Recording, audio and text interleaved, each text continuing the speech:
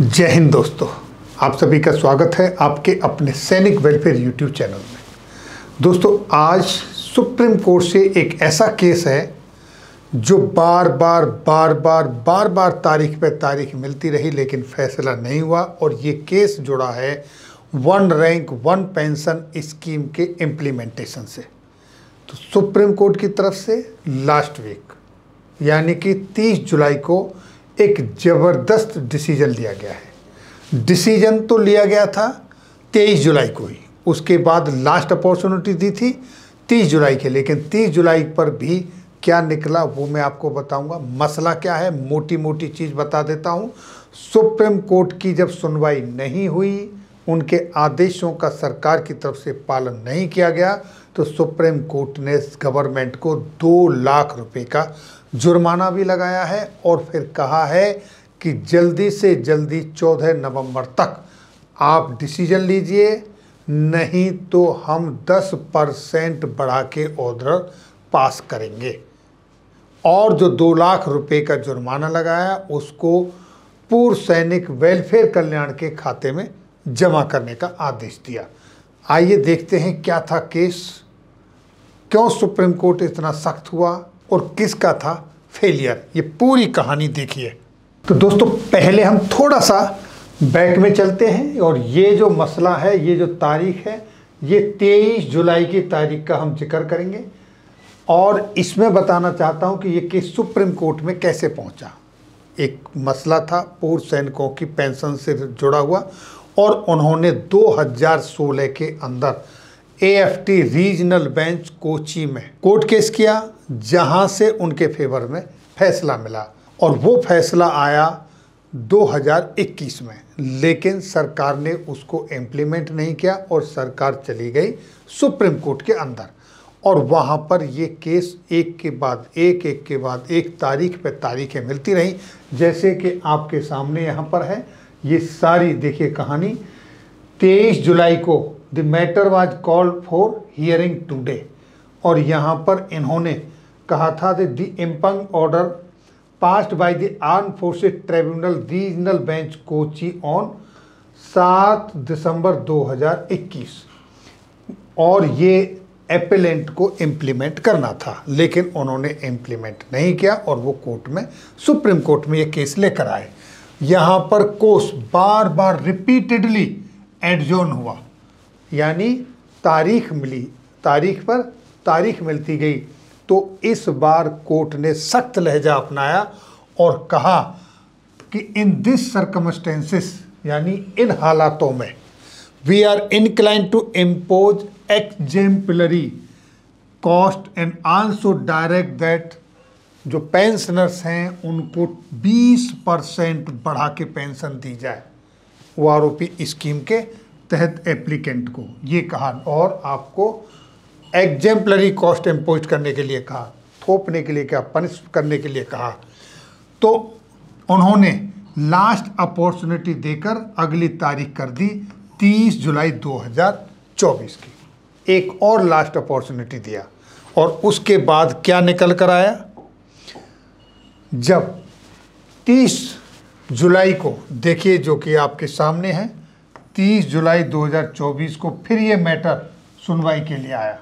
और वहाँ पर ये जो मैटर था, ये मैटर चल रहा था संजीव खन्ना जी और ऑनरेबल जस्टिस महादेवन के बेंच सुन रही थी और सरकार की तरफ़ से एक लंबी चौड़ी फौज ये खड़ी थी वकीलों की, जहाँ पर एक नहीं, दो नहीं, बल्कि आठ आठ एडवोकेट ये केस लड़ रहे थे पूर्व सैनिकों के खिलाफ वन रैंक वन पेंशन के मसले पर।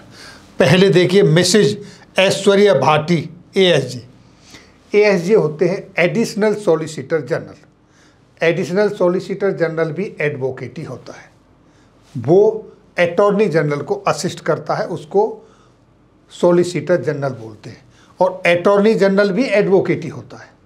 यानी कि यहाँ पर ये थोड़ा समझने की बात है कि lawyer advocate attorney general solicitor general ये सब क्या है? जब एक इंसान लॉ की स्टडी कर लेता है, कानून की पढ़ाई करके पास हो जाता है तो उसको लॉयर कहते हैं।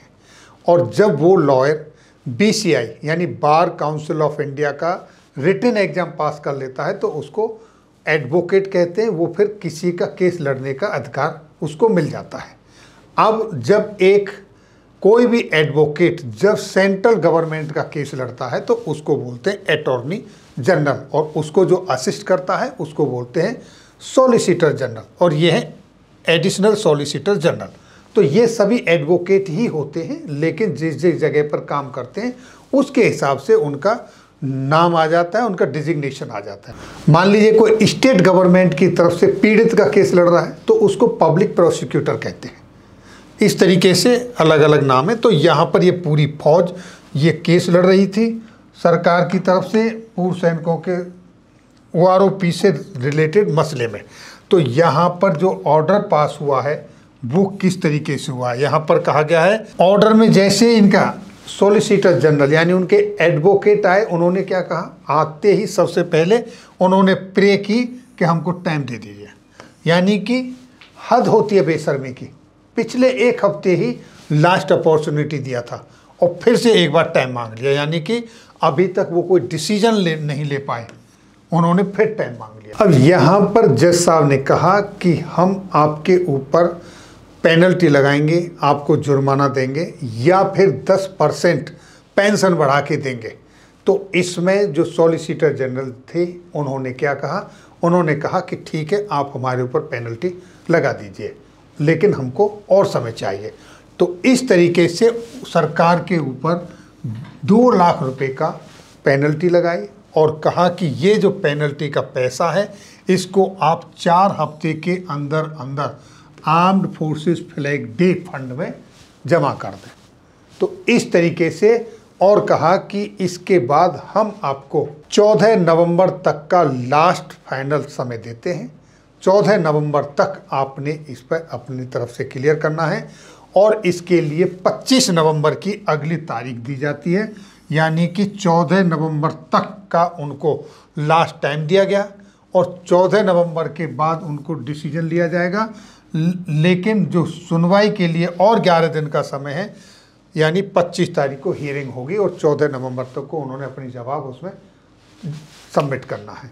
तो इस तरीके से जज साहब सख्त हुए और ये आदेश पारित किया। और अगर ऐसा नहीं होता है तो कहा कि हम 10 परसेंट के साथ में पेंशन इन्हेंस करने का ऑर्डर पास कर देंगे। ये आपने देखा होगा, पेपरों में भी छपी, पेपरों में निकल के आई, जो आपके सामने रिटायर्ड कैप्टनों की पेंशन विसंगतियाँ दूर करने में देरी क्यों?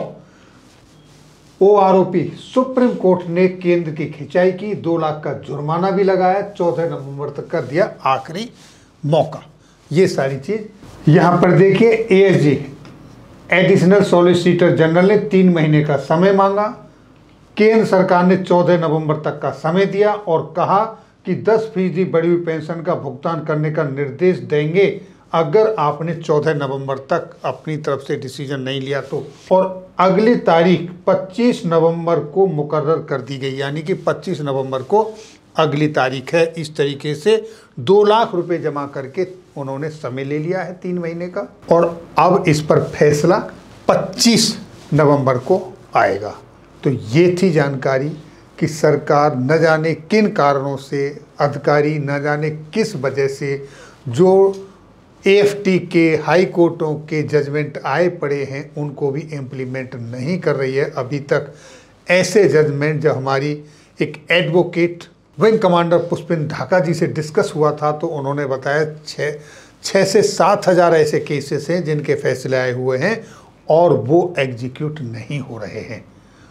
वो सारे के सारे मसले अपर कोर्ट यानी सर्वोच्च न्यायालय में सरकार ने अपील एसएलपी डाल रखी है। इस पर आपकी क्या राय है? अपने कमेंट्स ज़रूर लिखें और ये इन्फॉर्मेशन अपने सभी साथियों के साथ शेयर करें। फिर मिलेंगे आपके वेलफेयर से जुड़ी हुई किसी अन्य जानकारी के साथ अगली वीडियो में। तब तक के लिए जय हिंद, जय भारत।